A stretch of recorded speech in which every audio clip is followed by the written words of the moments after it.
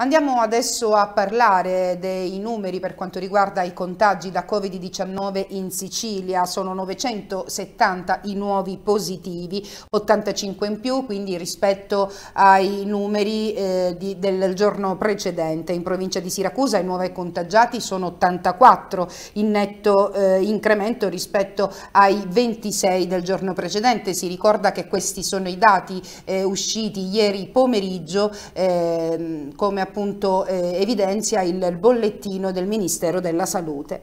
Il dato dei ricoveri per coronavirus negli ospedali siciliani rispetto eh, al dato precedente vede un decremento complessivo di due unità, così come riporta appunto il, il bollettino quotidiano del Ministero della Salute. In terapia intensiva sono in cura 229 persone, due in più rispetto al giorno precedente. Il dato dei guariti è pari a 1456 persone sono 36 i decessi. I tamponi rapidi processati sono stati 9.947, i tamponi rapidi invece 13.632.